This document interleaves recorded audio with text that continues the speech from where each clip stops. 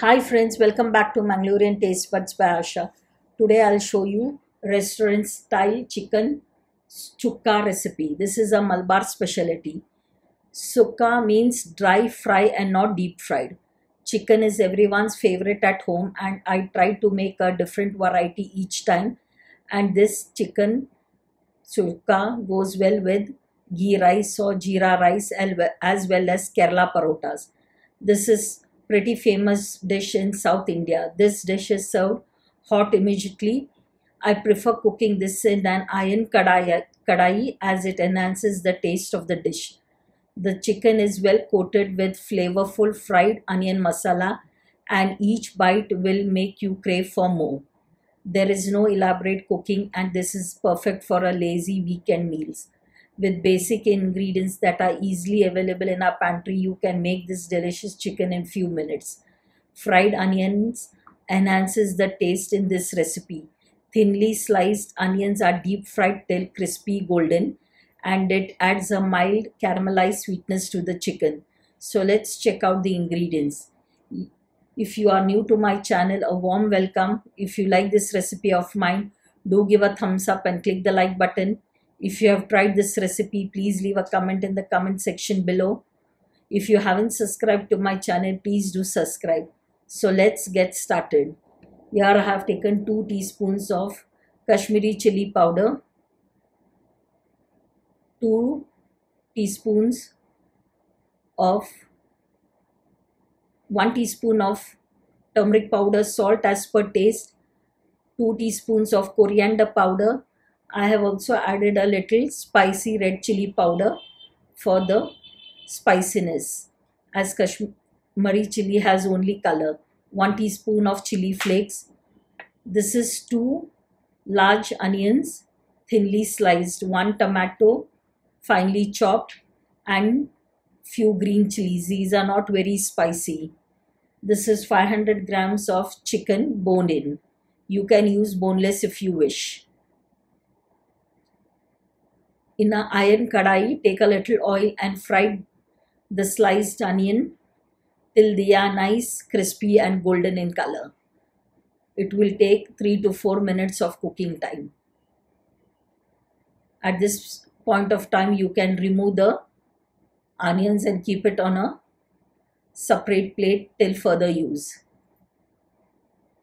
Now in the same kadai, you can start cooking the chicken.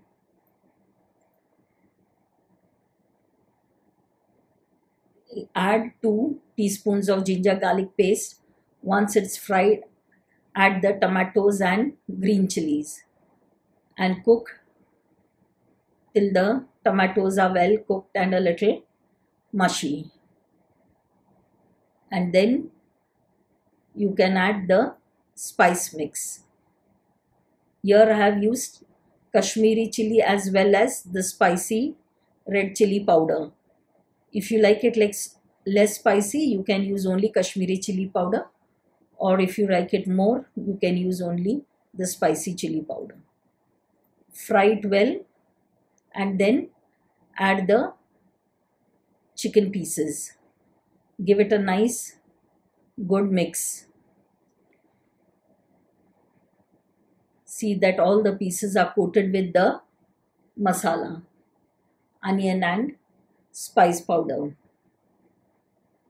Keep on frying for a couple of minutes, 2 to 3 minutes on slow flame.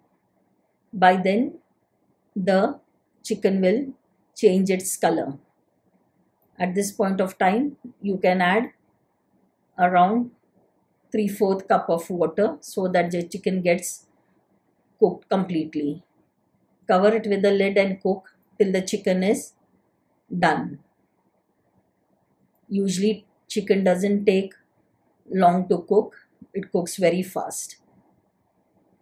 Once it is done, then you can add the remaining ingredients. Cover it and cook it.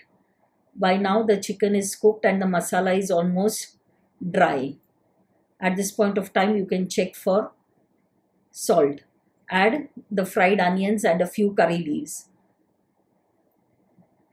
give it a nice good mix.